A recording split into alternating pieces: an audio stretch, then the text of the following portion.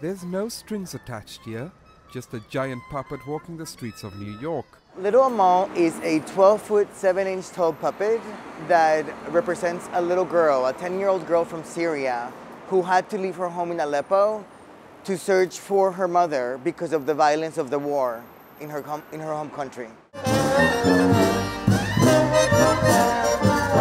This walk is celebratory, but with a strong message about the urgent needs of migrants and refugees. Little Amal started her journey around the world in 2021 and has already traveled through more than 85 cities and 12 countries. Her visit to New York comes at a time when the city is experiencing an influx of migrants caught in the middle of a raging political battle over immigration. The main message is these are people, these are human beings, just like you and me, just like our family members. And these are not just uh, political issues that we can ignore, right? We need to uh, really see the human side of immigration and migration and the global refugee crisis. And we need to respond in a very human way. The puppet was designed and built by Handspring Puppet Company, known for creating the puppets for the international hit play War Horse.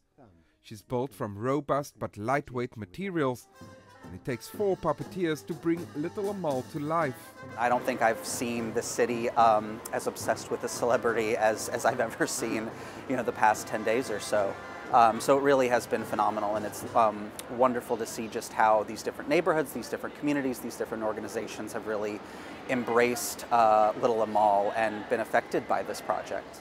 Little Amal invites us all to imagine a world in which care is prioritized and we look at all of our resources and we recalibrate them to make them just and fair for all human beings who are here on earth trying to make their way into a future that is healthy for all of us. Before coming to New York, Little Amal had a range of experiences, among them posing at the Eiffel Tower in Paris and visiting the United Nations in Geneva.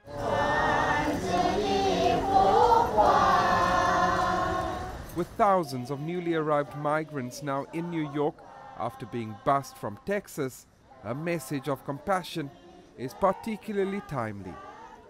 Jody Jacobs, CGTN, New York.